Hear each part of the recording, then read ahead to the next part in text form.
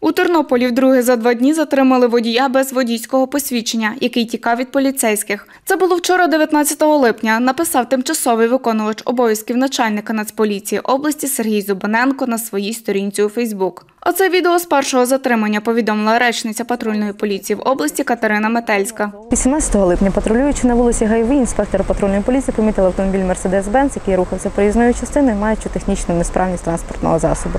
Інспектор спробували зупинити автівку, але водій не виконав вимоги про зупинку та продовжив рух далі. Інспекторам вдалося зупинити транспортний засіб на території одного з гаражних кооперативів.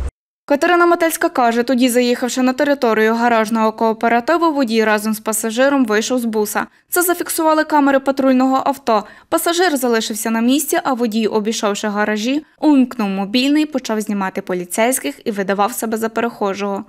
Ти, ти, ти воно! Я тобі то заливав, ти тупорилою ногу.